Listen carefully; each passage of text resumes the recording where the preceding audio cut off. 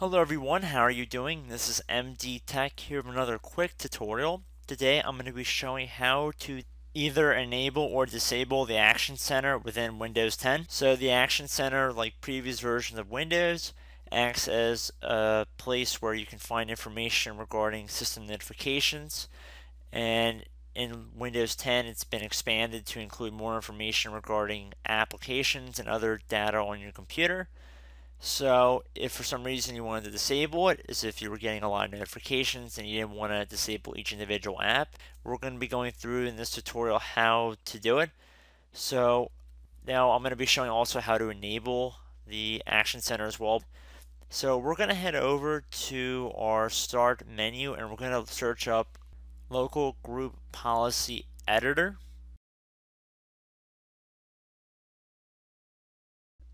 And there should be an option that says edit group policy control panel. Uh, you want to left click on it.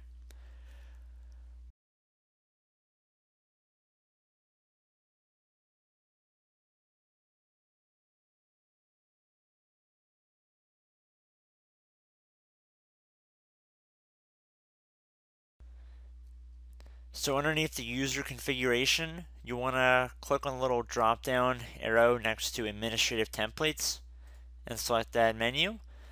Underneath that, you want to select, just left click on the start menu and taskbar folder.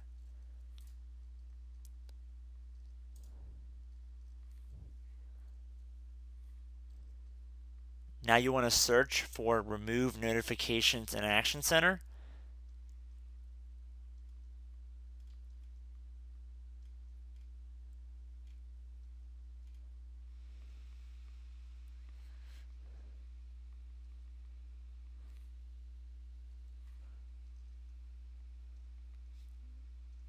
It should be right underneath the pin apps to start when installed.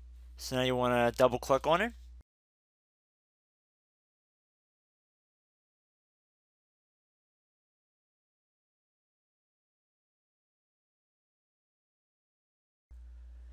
Now it's very important that you do this correctly here because the wording could be a little bit confusing. So not configured would mean that it's defaulted to enabled, so it'll be on if it's set to not configured. If you're looking to disable the Action Center, you want to select the dot enabled. So it's kind of the reverse. If you're trying to disable the Action Center, you want to left click on enabled and then left click on apply and OK and then the action center should be disabled at that point because if you read the wording here it says remove notifications and action center. If it's enabled if that setting is enabled it will act as a disabling feature for the action center.